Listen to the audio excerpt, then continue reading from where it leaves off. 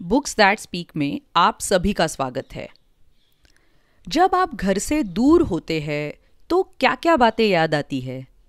आवाज़ें, गंध, स्वाद, स्पर्श और कमरे। आइए, मोरोमी के सपनों के घर का जायजा लेते हैं, जिसके परिवार को बाढ़ में विस्थापित होना पड़ा। कहानी का शीर्षक है, घर की याद।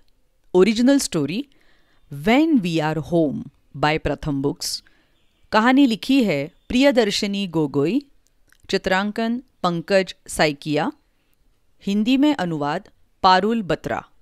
कहानी का वाचन आसावरी दोषी। हमारे घर का स्वाद उस खस्ते मीठे तिल के पीठे की तरह है, जिसे अनाइडो अपनी रसोई में पीस कर बनाती है। अनाइडो यानी कि दादी माँ।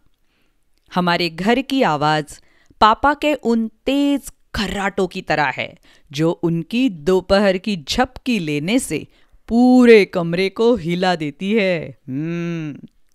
हमारा घर ऐसा दिखता है, जैसे माँ बैठक में करघे पर बुनाई कर रही हो और मैं और हुंतू कुश्ती कर रहे हो। हम्म।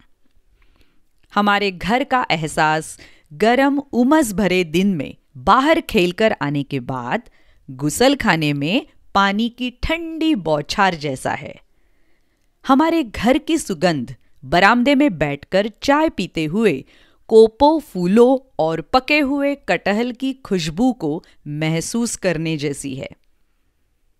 एक दिन हम फिर घर पर होंगे। कैसी लगी ये प्यार भरी, आशा से भरी हुई कहानी? और ऐसी बहुत सारी कहानियाँ सुनने के लिए बुक्स दैट स्पीक इस चैनल पर ज़रूर आइएगा यूट्यूब पर और अलग अलग पॉडकास्टिंग चैनल्स पर। वेबसाइट www.booksthatspeak.com मिलते हैं अगली कहानी में। बाय बाय धन्यवाद।